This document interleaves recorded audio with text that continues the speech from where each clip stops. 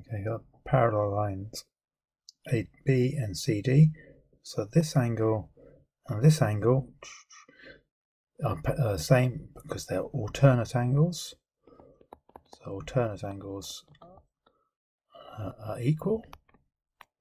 And then this one here and this one here, I'll do it in two lines this time. Those ones, again, they're alternate angles.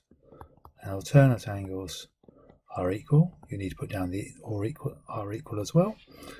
And then pink, I'll do three. This one, three there. That one is vertically opposite. And so they're equal.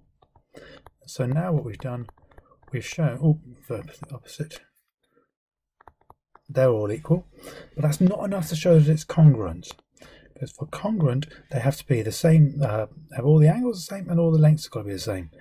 And just need one more thing, and this length here is the same as that one because M, or it says there, M is midpoint of AD, and so it's like that.